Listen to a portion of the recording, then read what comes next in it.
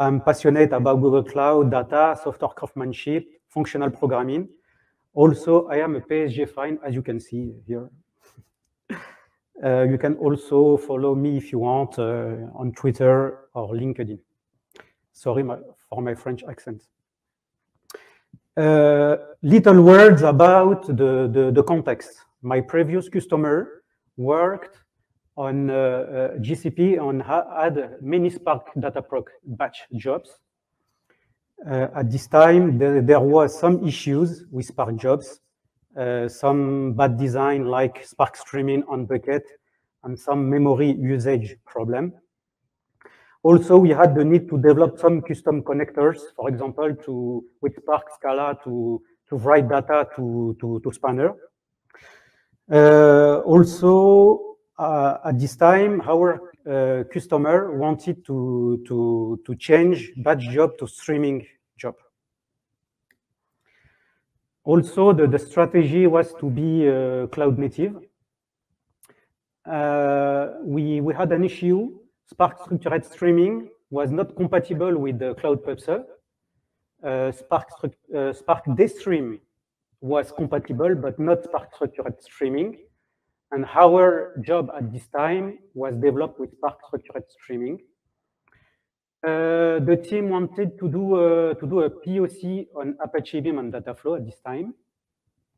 And also the team used to work with JVM languages like Scala and uh, Java. About the, the POC on uh, Apache Beam. Firstly, I did a POC uh, for a data mart database design with, with Scio. Uh, Scio is a Scala wrapper on Beam by Spotify. Why? Uh, because the, the team used to work with, with Spark Scala is an interesting choice and it produced a good code. But finally, uh, the team decided to use Beam Native with Java SDK. The goal for, for us was to be very near to the, to the native SDK in order to be more confident, learn native code, and have more documentation on the, web. And uh, also the, the team chose Java instead Python for the reason explained before uh, for, uh, JVM. About the, the architecture. I was in charge to, to propose a Beam boilerplate code and architecture to the team. The, as, at this time, the Scala code was mostly oriented with inheritance design and without code decoupling. Uh, also, uh, for, for, this customer, uh, we had many, many transformation and business rules. That's why I, um, I proposed an hexagonal architecture and domain-driven design. I will explain this concept.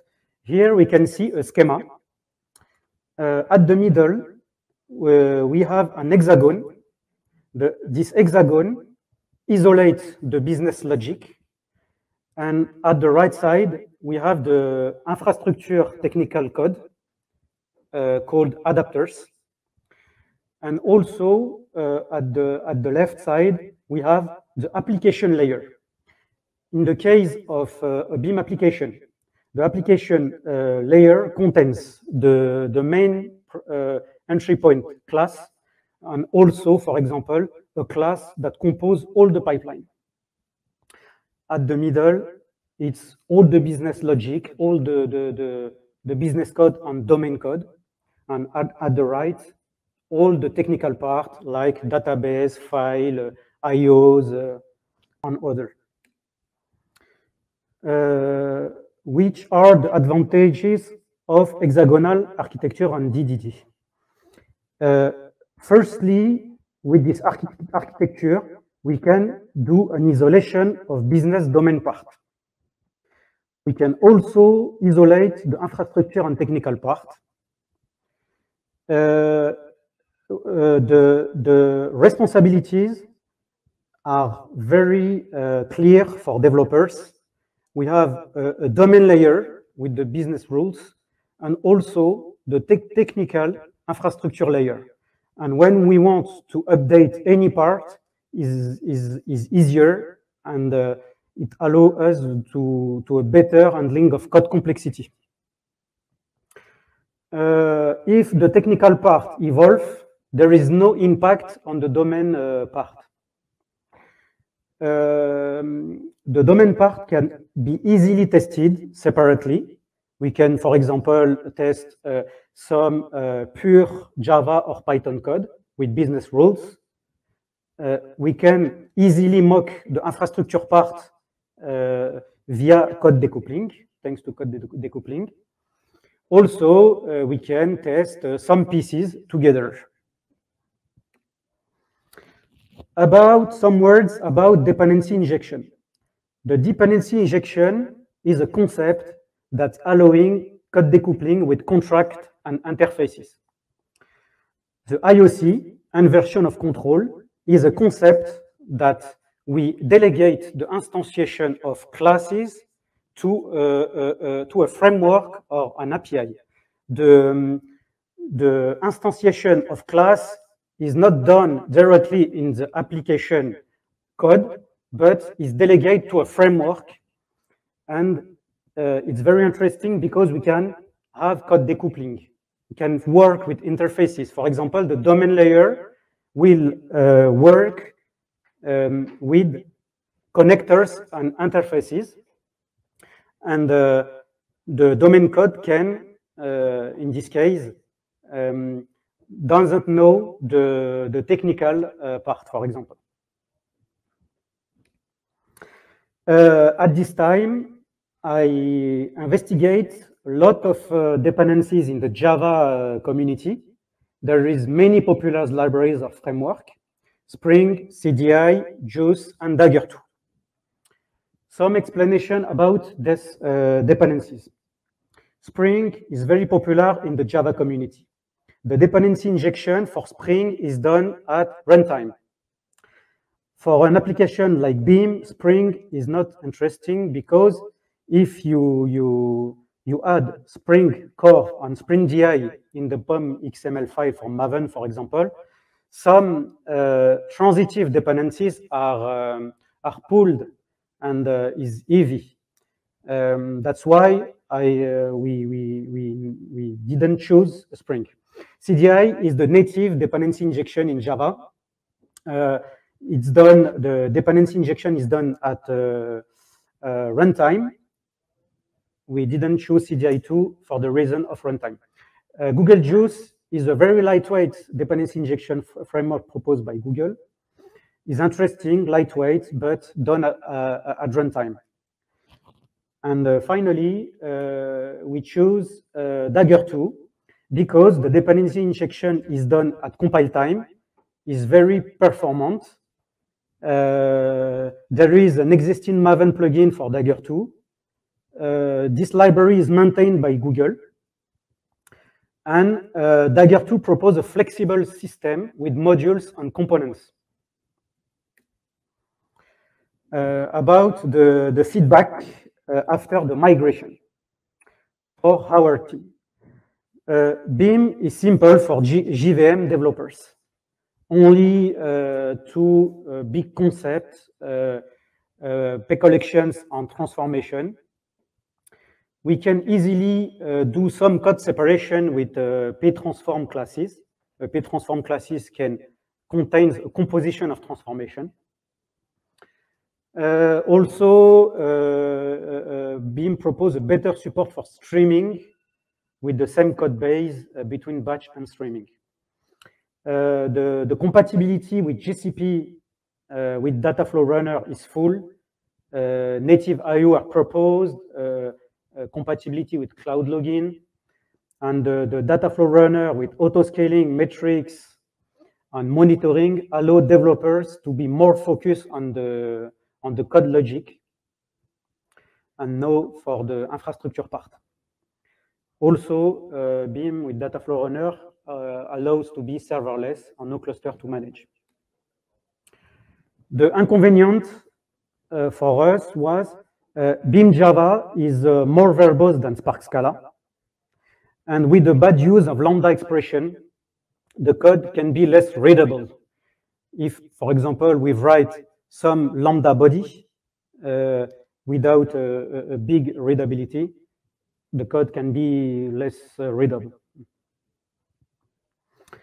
Uh, I'm going to show you uh, a, a, real application with uh, an example of application with Beam, an ex hexagonal architecture and DDD.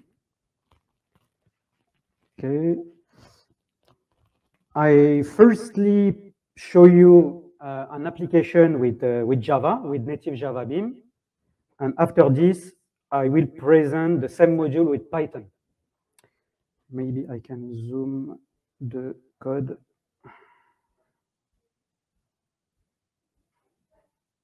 Okay. About the architecture. We have uh, three layers, application, domain, and infrastructure. Uh, I firstly show you the, the, the, the goal of this module. The goal of this module is to handle a team league. Is a little use case. Uh, I can show you an example of files.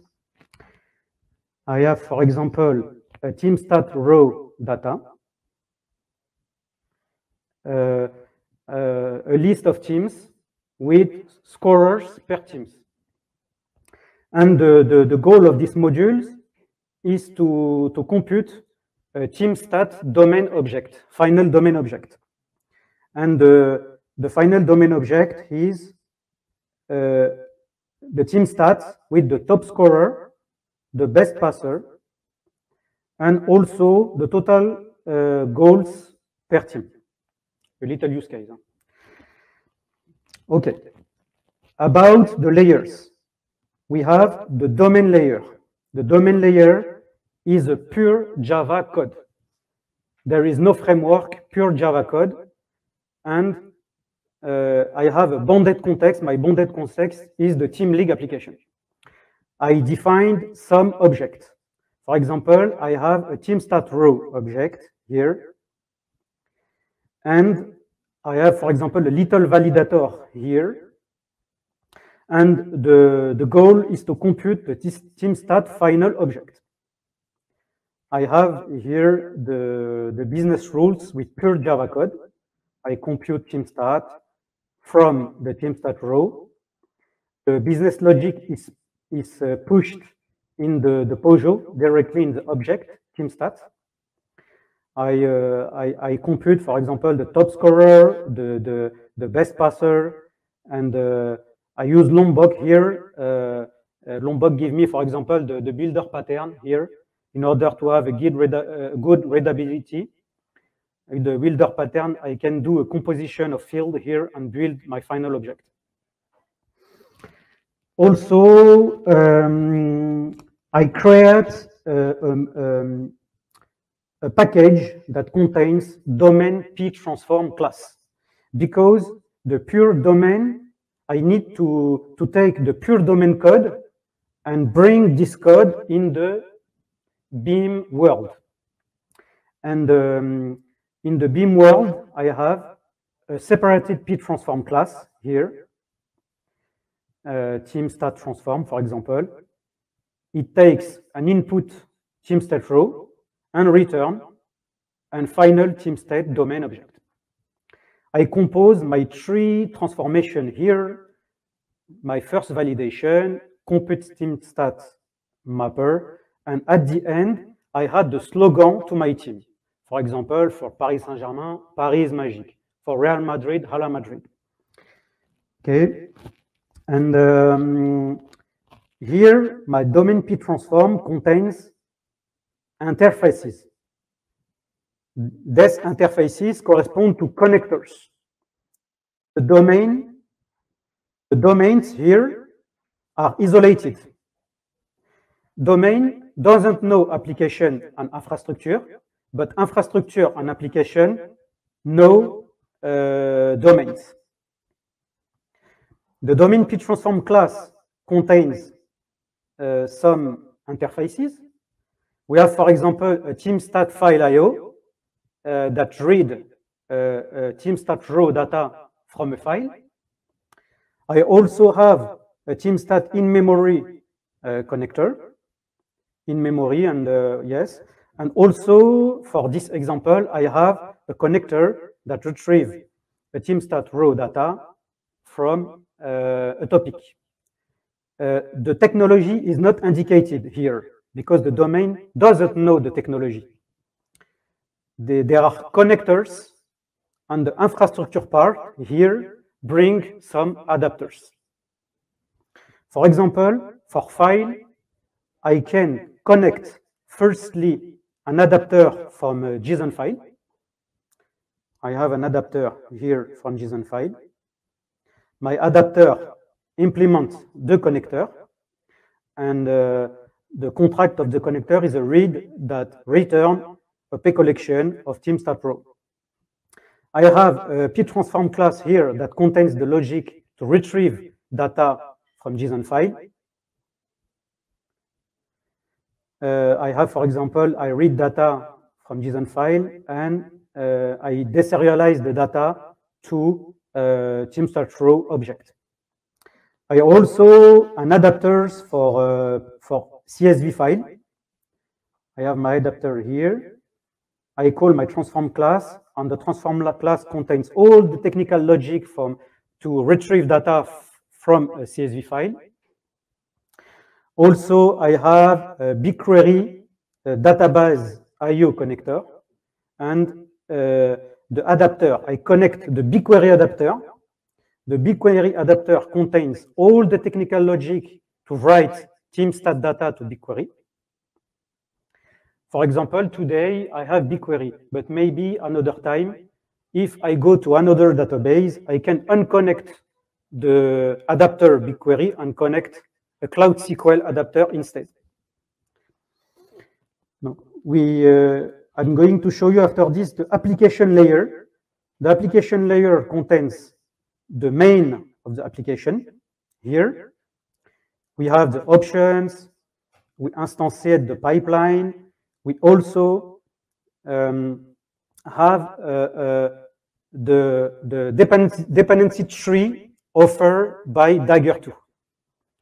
And uh, my app use classes called TeamLeague Pipeline Composer, and the responsibility of this class is to take all the connectors, inject the connectors via dependency injection, and compose all the elements of the pipeline. I read data, I call ptransform class, and write data to a database. And I'm going to show you the injection part with Dagger 2. The entry point of Dagger 2 is uh, a component class. The component class, we can inject ex external object to the component class. Here, I inject the external beam option into the dependency injection framework because I can build another object from pipeline option offered by beam because some object controlled by us is more easily mockable. And the entry point proposed by Dagger is the pipeline composer class. Also, the, the component is uses some modules. I have the principal module here, and the principal module contains a module uh, for I.O. and for configuration. My uh, module here for I.O. Um, with Dagger 2, we have my database I.O. connector, and I connect my BigQuery adapter to my, connect, to my connector. But also, I have here the TeamStat file IO connector.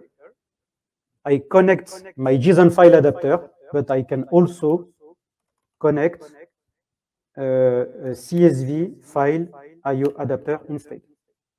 And unconnect CSV, I connect, uh, I unconnect JSON, I connect CSV. I can easily unplug and plug other adapters to some connectors. it's okay. And um, okay for the architecture. The advantage to have a separated P transform class, business class, I can easily test my class here with a dedicated test class. For example, I will, uh, I will show you uh, uh, uh testing for good cases with the given when then uh, uh, naming convention for testing, given input team, input teams state row without error, when call my transform, then expected output in result. I have my input here. It corresponds to a mock. I can easily propose some input files and expected file. Here, I mock my inputs. I call my p-transform class. And at the end, I do the assertion with Beam. Okay. It's okay for the, the Java part. Um, I will run the application with direct runner. I have a direct runner that will launch the job and uh, that will ingest TeamStat data to a BigQuery uh, table. Uh, for this example, I um, prefer to use direct runner to gain time. Um, I run my job and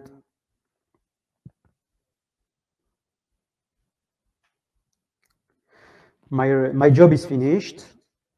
I have my final BigQuery table here. I open, I have previous data, but um, my data here. I ingested my uh, PSG and Real Madrid here. I have my team slogan. I have the, the, the top scorer is Karim Benzema for Real Madrid and Kylian Mbappe for uh, PSG. I also have the best passer, Marco Verratti and Luka Modric. Also, I, I will uh, change my input in my pipeline composer class here. Instead of file IO connector, I will use my topic IO connector here, and the domain code is not impacted. Uh, I will run my streaming direct job instead the batch. I run my job I also have a little script that I publish messages to a topic. Here, uh, with gcloud, I publish, I read a JSON file and I publish some message to the topic. And um, the, uh, the, the, code is not impacted. Uh, for example, here about the, my shell, export, connection. Um, here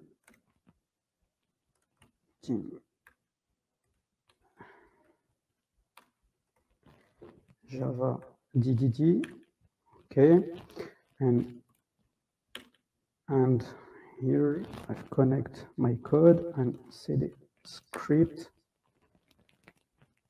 and I publish my messages to uh, to PubSub here and um, normally I will ingest uh, TeamStat.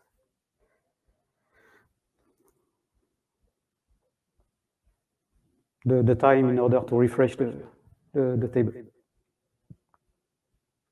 Yes, I ingested new data uh, uh, from the, the streaming file.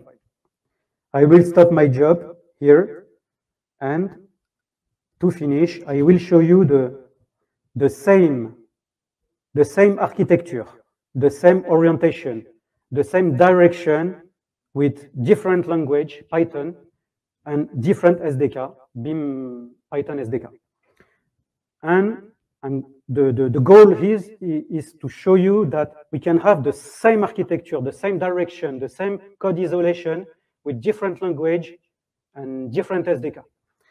Uh, I have my TeamLeague application. I have the, the, the same folders here the application layer with the pipeline composer class and the main, the main here. I am a main and the main use an entry point for the pipeline composer here. The pipeline composer use dependency injection with all my connectors and compose all the pipeline here. Also, the dependency injection, uh, uh, an open source library is proposed to do dependency injection with Python. We define some blocks for IO transform, for adapters here, and for the block pipeline. The, block, the pipeline block um, take adapters, external configuration, and propose the entry point of the application, that is the pipeline composer class. The domain, as, as the Java part, the domain contains a TeamStat raw data. Here, I use the data class with Python. The validator here. Also, I have the team stat final object here, the same rules as the Java part. I have a compute team stat here that take a row object and return a team stat domain object. I compute the top scorer best passer uh, here and return my final object here. And for the, the, the P transform uh, layer, the principle is, is the same. I have my, my connector interfaces here, database IO connector, my file here, in memory. Also, I have my business P transform class here that compose my transformation. I validate input fields.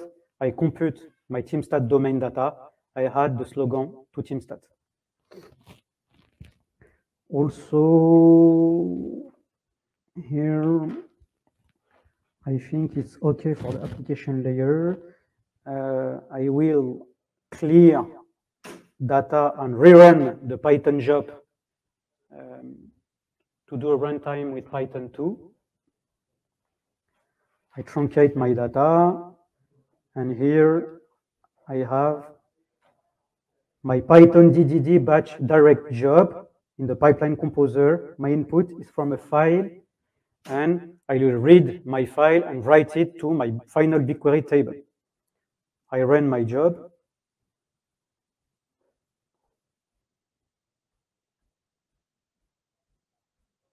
with direct runner.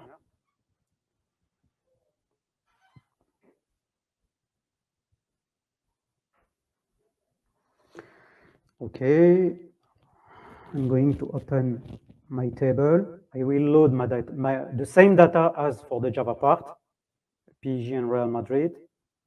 And at the end, I will do the same for the streaming part. I will unload my file, file connector. I will replace it by my topic IO connector. And uh, I will run the streaming direct job here and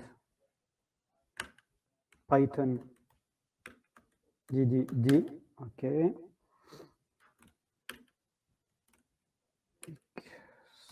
Export, okay, cd script, okay, and uh, dot slash publish.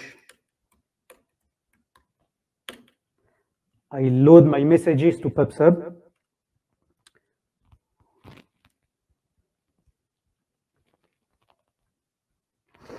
I ingested my uh, my data, the the data from the the, the, the, topic.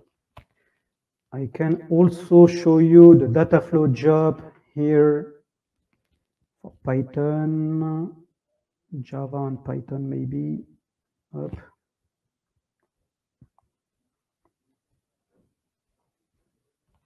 not the good.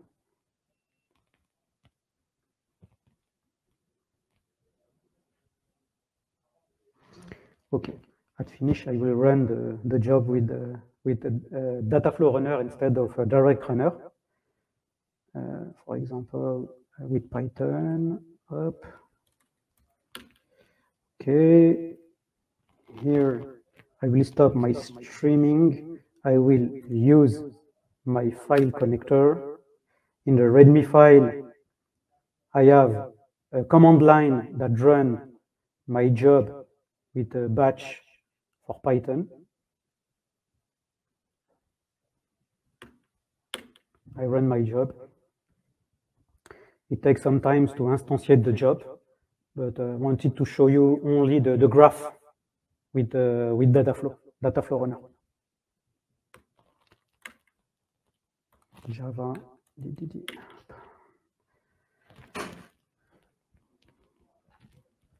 There is an error, maybe, maybe I can do the same with Java and from the README of Java here, I will run the job with Dataflow Runner.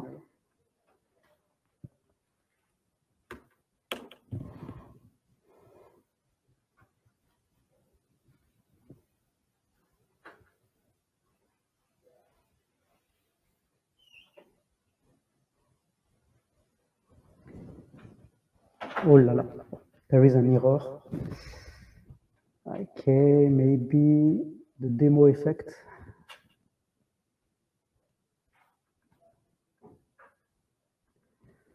Uh, maybe find IO here.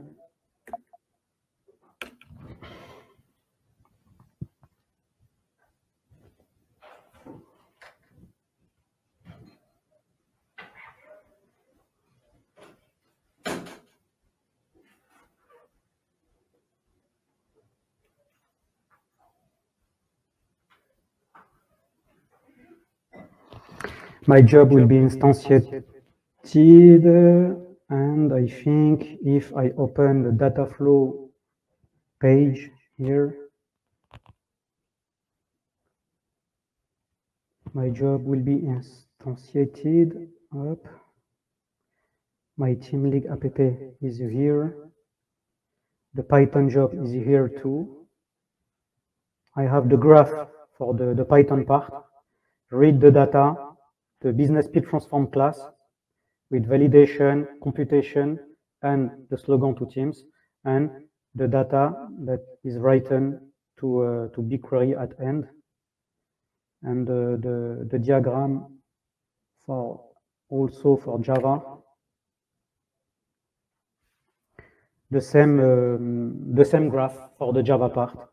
I read team uh, from a file, I have my PTransform class, and I write the data to a BigQuery. I think it's okay for me. Uh, I published also uh, the code to my uh, personal uh, GitHub account. You can uh, clone the two projects, Java TeamLeague Java DDD Beam Summit and Python DDD Beam Summit 2.